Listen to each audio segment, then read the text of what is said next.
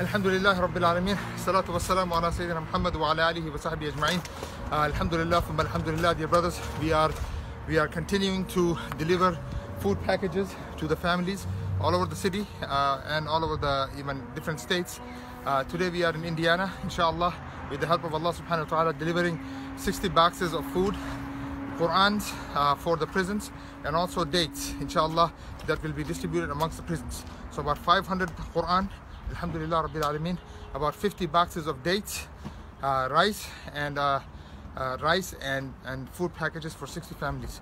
Continue to help especially in the month of Ramadan dear brothers and sisters. We need to do as much as we can. This is an amazing part of the da'wah. This is the way that we also win hearts.